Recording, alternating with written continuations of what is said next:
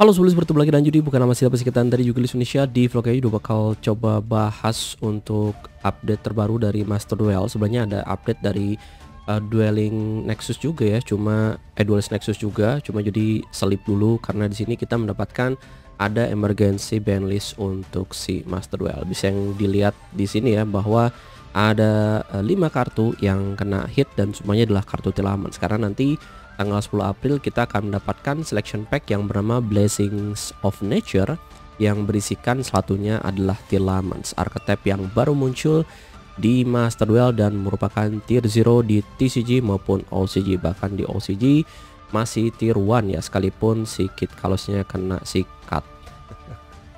Dan di sini kocak sih sebenarnya menurut dia karena di sini kita limited langsung si Kalos dan juga si Perleno.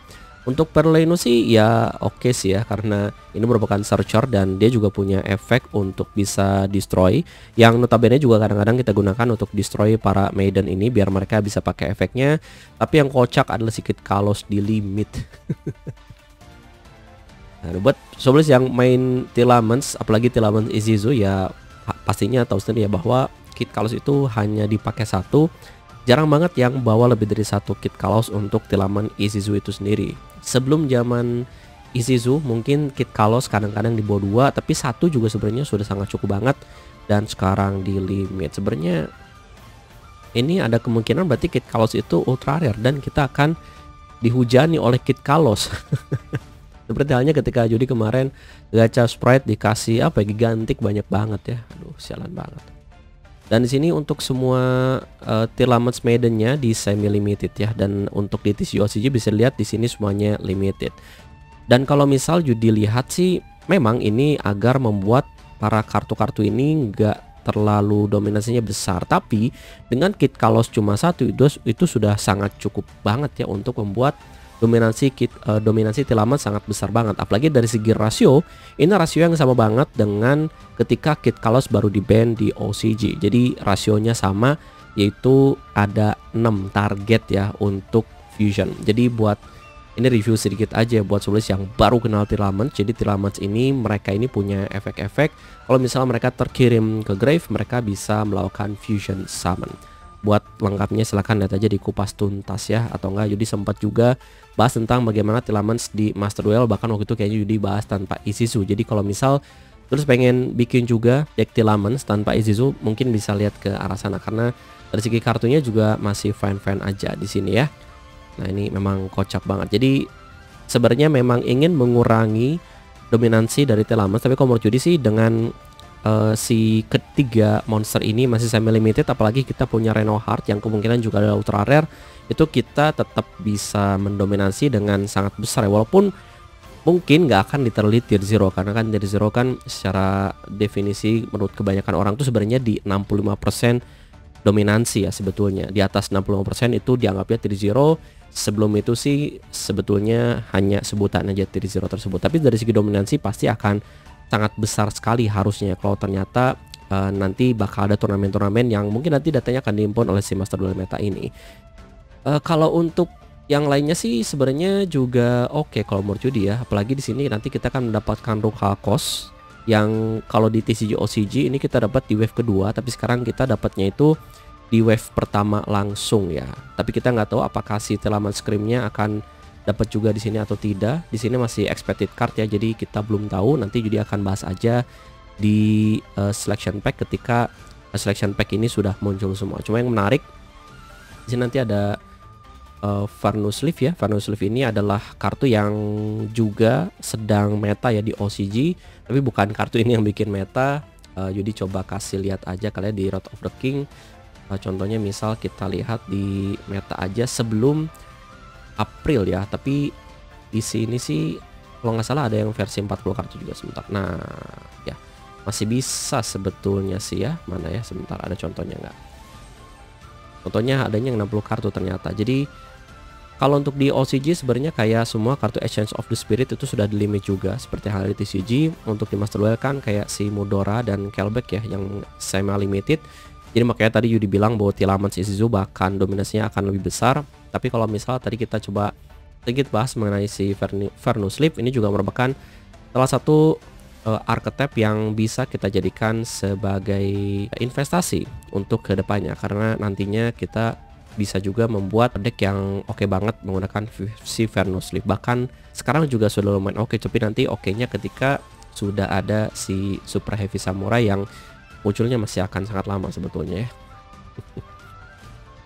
Ya jadi begitu sih kalau menurut Yudi ya tentang Tilaman. Sebenarnya sih bandlist seperti ini nggak begitu banyak pengaruh tentang Tilaman karena targetnya masih banyak. Seperti halnya kalau misal kita lihat di sini ya ini adalah sebelum semua Maiden itu di limit jadi Kit Kalos sudah forbidden di sini ya. Dan uh, Isuzu-nya sih masih 3 3 1 1 gitu. Jadi kayak si Keldo dan juga si Agido itu limited Sedangkan uh, di sini itu ada Keldo dan juga Agido beserta dengan Kelbeck yang semi limited. Masih ada Mudora yang unlimited. Jadi kalau ternyata ini tidak ada perubahan sama sekali, otomatis nanti juga kita bisa bikin deck yang mirip-mirip seperti bukannya ini ya. Seperti ini ke depannya. Mungkin nanti kita tidak akan menggunakan Emancipator ya karena Block Dragon sudah disikat ya untuk di Master Duel. Dan yang menarik lagi sebetulnya adalah Melvi kalau menurut Judis ya. Melvi di sini kita mendapatkan ada Melvi Wally yang merupakan monster Melvi yang sangat luar biasa. Uh, tapi di sini kita tidak melihat sprint ya sayangnya karena sprint itu adalah kartu yang bagus banget. Oh ya belum upload kayaknya ketika Yudi upload video ini ya. Jadi Yudi sebenarnya sudah record tentang final YCS London 2023 dan di situ pengguna sprite itu menggunakan engine Melvi. Melvi-nya itu pakai ini dan juga Katy. Nah, kita coba lihat aja di Master Duel. Nah, jadi ada Katy dan dia juga menggunakan ada si ini dia Melvi of the Forest. Jadi kalau misal kita lihat di Master Duel modalnya hanya satu ultra rare dan satu normal aja. Untuk pininya nggak tahu apa sekalipun SR juga sangat murah banget. Tapi di sini kita membutuhkan ada sprint untuk decknya sih seperti ini ya. Jadi yang digunakan sebenarnya adalah si sprint sprint ini dipanggil menggunakan ya seperti halnya elf gitu. Jadi dia akan mengirimkan si nimble angler special summon dua beaver terus beavernya manggil si uh, Melvi of the Forest. Melvi of the Forest itu dia search Katy Katy special summon sprint ini dia punya efek yang sebelumnya nggak pernah dipakai tapi sekarang dipakai yaitu ketika ada monster lainnya di special summon ketika monster yang ada di field kita bisa detach satu material dari exist material yang exist monster yang kita kendalikan dan target satu monster di field untuk di bounce. Yang artinya kita bakal detach material dari Melvi dan kita bisa bounce. Yang artinya dengan kombinasi tadi ya berkat adanya sprint doang itu berarti kita bisa memiliki ada uh, tiga disruption kalau misal engine-nya segini aja satu dari sprint satu dari Melvi dan satu lagi dari Pini yang nanti akan sinkro ke arah si Herald of the Arclight. Tapi kalau misal kita coba gabungkan, kita coba perluas sedikit ya engine-nya uh, dengan menambahkan si Wally. Ini Wally ini dia bisa juga memanggil monster uh, Melville lainnya akan memanggil monster Beast Warrior yang Yudi lupa namanya. Sebentar ya. Namanya adalah Kalantosa jadi Kalantosa ini ketika di special summon oleh Beast Monster yang Melvi juga semuanya Beast Monster. Jadi kita bisa destroy satu kartu di field. Tambah satu disruption lagi tapi tambah satu garnet sih ya sayangnya. Makanya untuk di sini dia hanya menggunakan mini engine aja tapi sangat powerful. Kalau misal uh, sebelum nanti lihat sendiri aja di pembahasannya atau langsung lihat aja ke pertandingan finalnya itu bisa kelihatan bahwa keempat kartu ini tiga kartu ini ya Forest bersama dengan dua Melvi ini memberikan dampak yang sangat signifikan di deck sprite bahkan tanpa elf. Berkat ada sprint. Nah cuma sayangnya di sini kita belum melihat ada sprint ya nggak tahu apakah nanti bakal ada atau tidak. Cuma yang lebih berbahaya lagi adalah ketika di sini sekalipun memang kelihatannya bahwa oh ya diperlemah nih Tilamans berkat fieldnya di limit It Kalos ini kocak sih ya dan para medenya di semi limited tapi di sini kita belum melihat ada Bestial dan karena di sini kita melihatnya paling uh, archetype-nya juga nggak akan banyak-banyak banget ya dan bisa dilihat sini mungkin archetype-nya ada Venice Loop, ada Amazons, ada Melvi dan ada Tilamets. Mungkin tidak akan ada archetype lain yang akan muncul di sini yang artinya Bestial itu belum akan muncul di Master Duel. Buat yang nggak tahu Bestial nih udah ditunjukin aja Bestial. Yang juga di TCG kemarin sempat disikatin ya. Eh di OCG sorry. Di OCG kemarin disikatin juga sih. Aduh kocak banget. Uh, di sini Bestial ini kayak bisa dibilang Didi Crow ya versi punya steroid karena mereka bakal terspesial summon dan juga ngebanis para Tilamans Maiden ini yang artinya mereka tidak akan jadi untuk melakukan fusion summon. Nah cuma tidak adanya bestial ya bukan berarti kita tidak punya counter tentunya Tilaman sendiri bisa kita counter dengan kartu-kartu seperti kayak Diddy Crow, Ghost Bell, uh, Skullmaster dan kawan-kawannya. Pokoknya kita bisa gunakan uh, beberapa hand trap yang lain. Cuma bestial memang better ya karena bestial ini bakal memberikan body di field. Atau kalau misal bahkan kita punya Magnamut kita bisa memanggil dua monster sekaligus karena pada saat end phase uh, Magnamut bakal search monster dragon dari deck atau graveyard ke tangan. Yang artinya kita juga bisa search monster bestial lainnya yang bisa aja kita gunakan untuk banish lagi monster dark di graveyard dan di special summon. Jadi ya bisa dibilang ini bukan uh, akhir dari Telamens jelas ya dan bukan kabar buruk juga buat para pengguna Telamens karena Bestial belum ada.